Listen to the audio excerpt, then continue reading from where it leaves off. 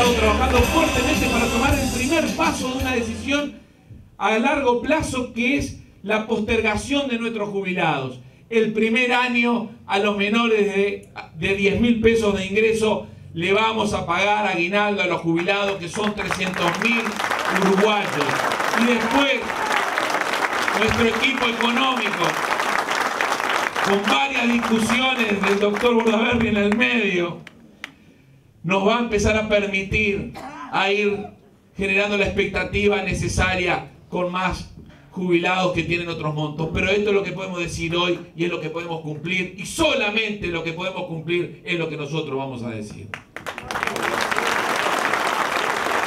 Cuando el año pasado recorríamos el país y estuvimos aquí en Canelones poniéndole oreja a lo que la gente nos decía, que eran los problemas, muchos jubilados me decían, yo cuando trabajaba me descontaban del aguinaldo para la jubilación.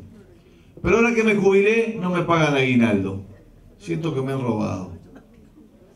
Y volvimos a, con el equipo a trabajar y claro, como son los economistas, los contadores, nunca hay plata, ¿vieron? Nunca alcanza. Y, y le decía, che, esto está mal, esto está mal, no puede ser que pase esto. Y me decía, no se puede pagar, fíjate, mucha plata. Y al final le digo, calculámelo.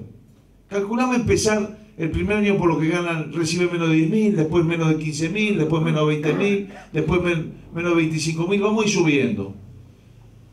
Y me traen los números. Y le dije, vamos a pagarlo. Vamos a proponerlo. Vamos a proponerle aguinaldo a los jubilados. Y me dice, ¿por qué? Porque ¿sabes qué? Cuesta menos de lo que perdió Sendique en ANCAP el año pasado. Cuesta menos que eso. Y esta es una opción. ¿Cuál es la opción? que sigan perdiendo plata en ANCAP o le pagamos los jubilados. Las prioridades hay que tenerlas claras porque somos el escudo de los débiles.